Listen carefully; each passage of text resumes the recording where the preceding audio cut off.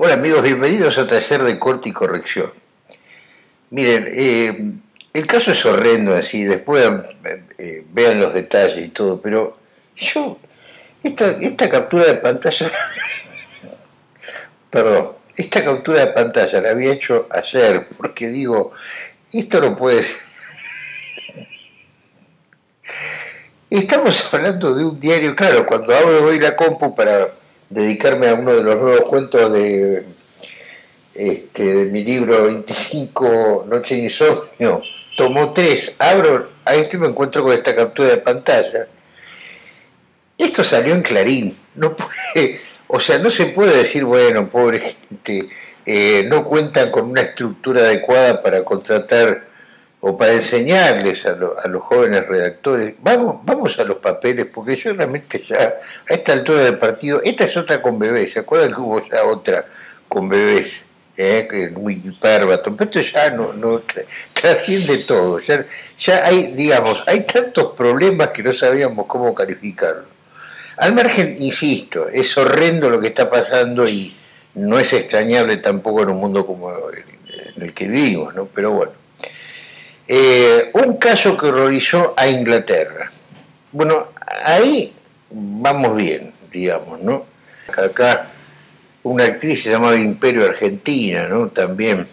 Pero eh, si yo digo un caso que horrorizó a Asia, y bueno, eh, Asia es grande, ¿no? Pero también me estaré refiriendo por ahí a Asia Argento. Yo tengo una alumna que se llama Adriana Francia, se pronuncia Francia, porque es descendiente de italianos, pero digo, un caso que realizó a Francia, digo, uy, la llamo inmediatamente, Adriana, ¿qué pasó? Pero bueno, supongamos que esto lo dejamos pasar. A su bebé, o sea, al bebé de Inglaterra, ¿no? Porque si acá dijera un caso que realizó Asia, y estamos hablando de Asia Argento, la hija del gran director de cine Darío Argento, sería posible también. A su bebé le amputaron las piernas por sus torturas. Bueno, a ver qué, a ver qué pasó. Si Inglaterra tuvo un bebé al cual le apuntaron las piernas debido a las torturas que cometió Inglaterra, y mire que Inglaterra cometió torturas a lo largo de su historia.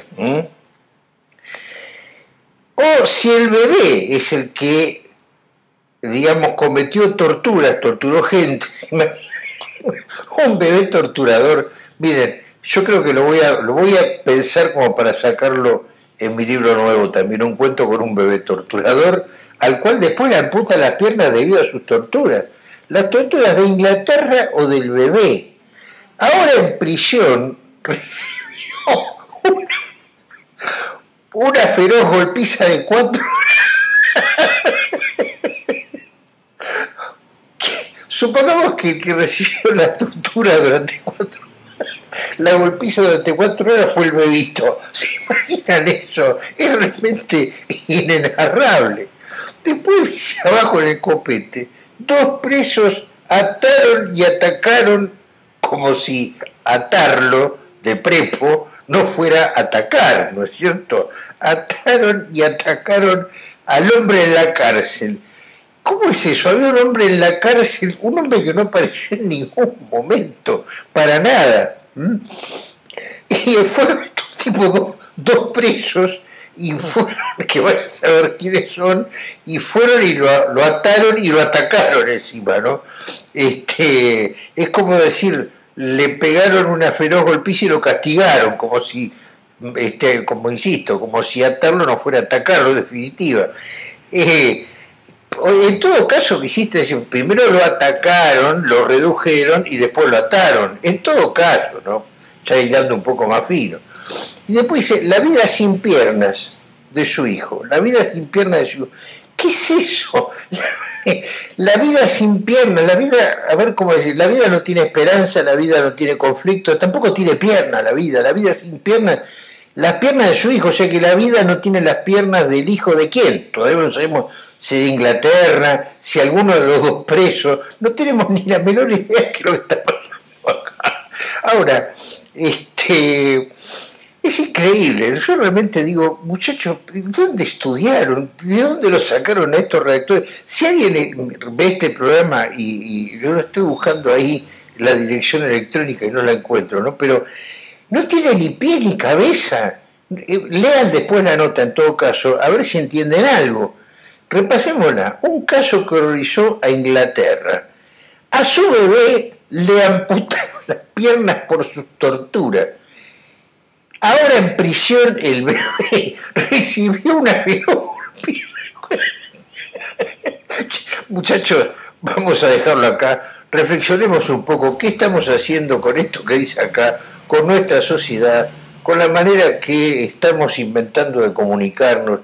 Esta gente está muy preocupada por lenguaje inclusivo y mientras tanto descuida el lenguaje con el que tendría que comunicarse, no con un cuento de terror, una historia realmente pavorosa de un bebé al cual le dieron la salsa durante cuatro horas en prisión, sino procurando bajar una noticia más o menos comprensible.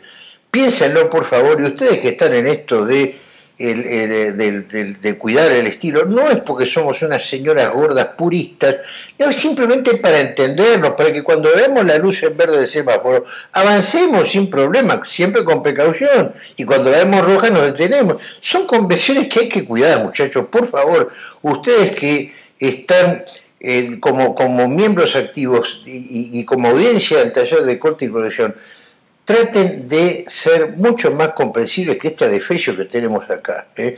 Y estamos hablando de un diario que en una época se llamaba el Gran Diario Argentino, ¿eh? se autodenominaba el Gran Diario Argentino. Lo dejo con esta reflexión, si les gustó, pulgar arriba para Marcelo y Marco. Si me piden, Marcel, ¿podés poner en palabras? No sé, la verdad que es, tan, honestamente digo, es tan desastroso que no sé qué pasó. No sé qué pasó. Honestamente tengo que ver la noticia, alguna foto que haya abajo, para entender lo que esta gente eh, está proponiendo. Pero eh, no es culpa mía, eso no es, culpa de ustedes, ¿no? El, hecho de no entender ni medio o entender cualquier barbaridad. Hagan la prueba, a ver qué entendieron y después confrontenlo con la noticia. Hasta pronto.